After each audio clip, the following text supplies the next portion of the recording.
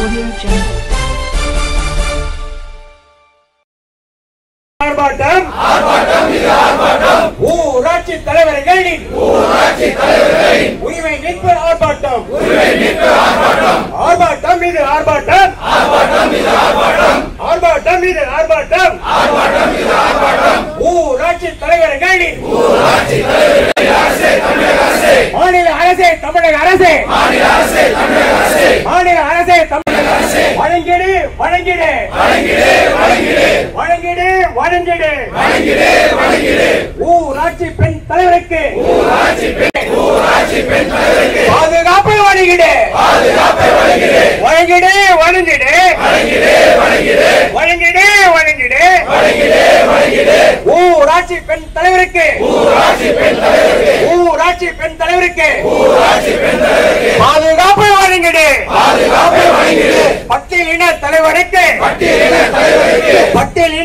தலைவருக்கு பாதுகாப்பு வழங்கிடு பாதுகாப்பு வழங்கிடு வழங்கிடு வழங்கிடு நிதியை கொடு நிதியை கொடு. நிதியை கொடு நிதியை கொடு.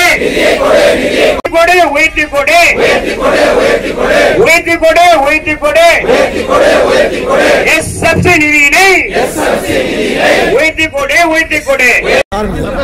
தமிழ் தமிழ்நாடு ஊராட்சி மன்ற தலைவர்கள் கூட்டமைப்பு சார்பாக இன்றைக்கு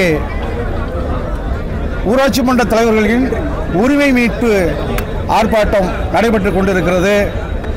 உரிமையை ஊராட்சி மன்ற தலைவர்கள் அனைத்து உரிமையும் முழுமையாக பறிக்கப்பட்டு ஊராட்சி மன்ற தலைவர்கள் எந்த ஒரு அதிகாரமும் இல்லாமல் பொதுமக்களினுடைய பொதுமக்களுடைய வசைப்பாட்டுக்கு ஆளாக்கப்பட்டிருக்கிறார்கள்.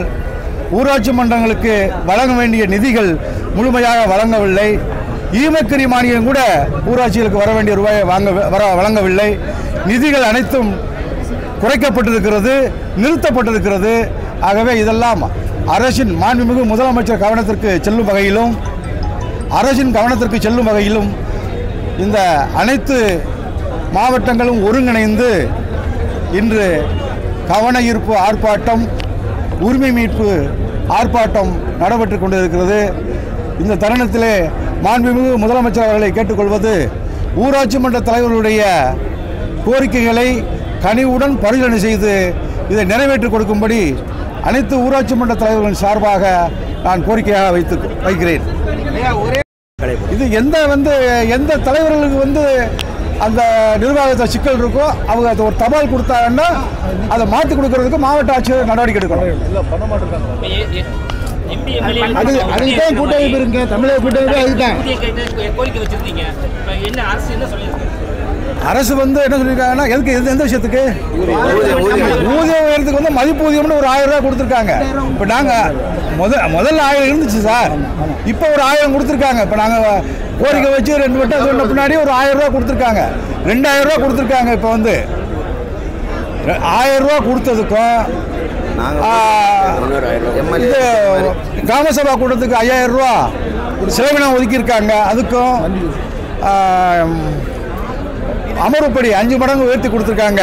அதுக்கு நாங்கள் மாண்புமிகு முதலமைச்சர்களுக்கு நன்றியை சொல்லிருக்கோம் பஞ்சாயத்து ராஜ் வந்து ரொம்ப வலிமையான ஒரு அமைப்பு. ஆனா வந்து அது செயல்படல அப்படின்ற மாதிரி ஒரு வார்த்தைகள் சொல்லியிருக்கீங்க. மாவட்ட அலுவலர்கள் பஞ்சாயத்து ராஜ் வந்து செயல்படலை சார். பஞ்சாயத்து ராஜ் சட்டமே இப்போ இன்னைக்கு இல்லை அமுல்ல இல்லை.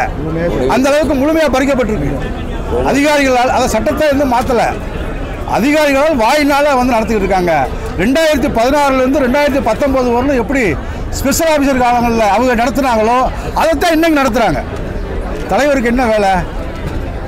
ஆஹ், சாக்கடை இருந்தால் அது சுத்தம் பண்ணி கொடுக்க தண்ணி கொடுக்க பைப் உடச்சி அடைச்சி கொடுக்க சம்பளம் இல்லாத ஊழியர்களாக தலைவர்கள் வேலை பார்க்குறாங்க. நாய் செத்தா தூக்கி போடுறது.